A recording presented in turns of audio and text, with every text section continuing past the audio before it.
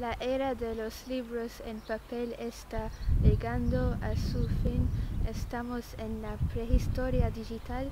Primero fueron las máquinas de escribir, luego las calculadoras y le ha llegado la hora a los libros en papel.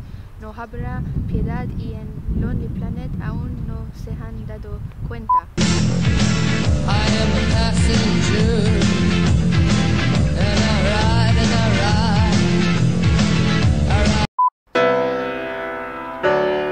¿Tienes un smartphone? Pues si tienes un smartphone tienes una guía de viaje de casi cualquier parte del mundo. Lo único que tienes que hacer es descargarte la app Matriz, la app de Triposo Matriz, y desde ahí te puedes descargar todas las guías que quieras. Y lo mejor de todo es que una vez descargada no necesitas estar conectado a los datos, lo cual es imprescindible para una guía de viaje ya que al cambiar de país no tienes conexión a internet.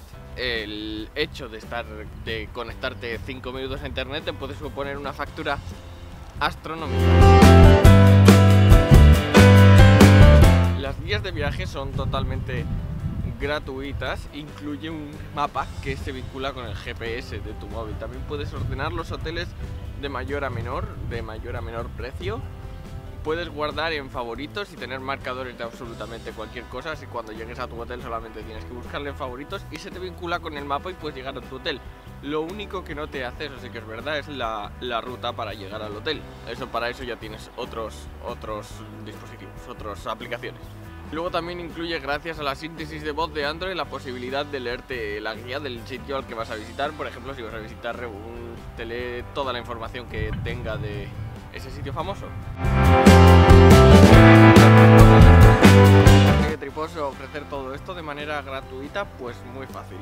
Los mapas los saca de la de Open Source Map, son mapas totalmente gratuitos que hay en internet, freeware. La información de los sitios a los que vas a visitar los saca de la Wikipedia y Wikitravel, que también es gratuito. Sí que es verdad que hay negocio detrás de, de Triposo, que hay una compañía que quiere ganar pasta y la pasta la sacan de ofrecerte guías y tours de pago.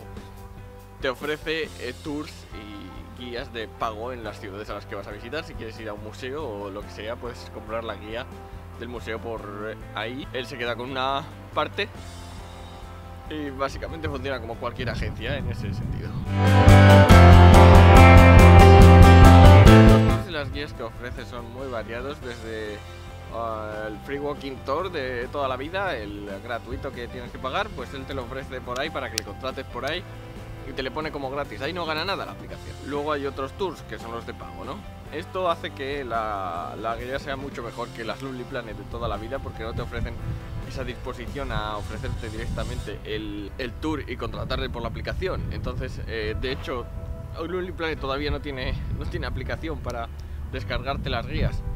Lo único que sí que tiene Lonely Planet es que a sus guías no se las acaba la batería y que están en todos los idiomas. La Triposo todavía solamente están disponibles en inglés.